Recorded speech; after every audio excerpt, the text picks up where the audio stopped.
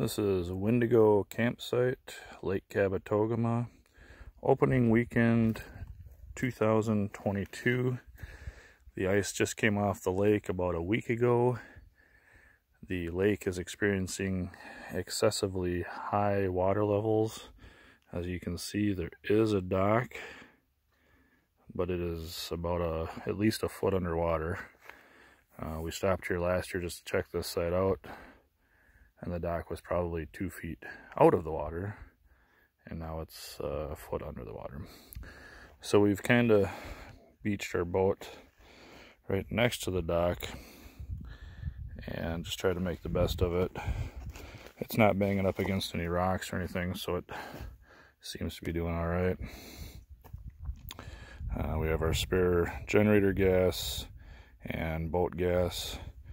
Um, right there. So there's a real nice trail up to the actual campsite, real short, as you can see, real nice and flat, easy to walk.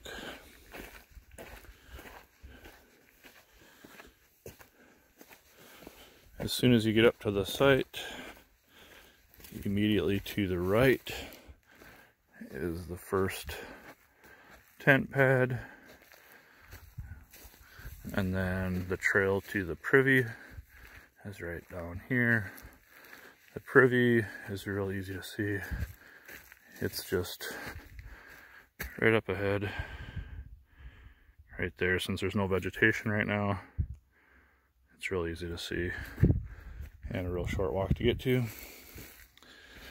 Nice big tent pads here here we set up our screen tent right there, which this time of year, since it's still getting on in the 30s at night, we have the sides down and uh, just have the picnic table inside there. And that's also where I sleep. So, all right. Two nice bear boxes that we use as our kitchen area. Grill, cook stove, and then we bring a food pack for our dry dry goods. Nice open area here. Area down there for fishing. Fire grate. Good view of the lake.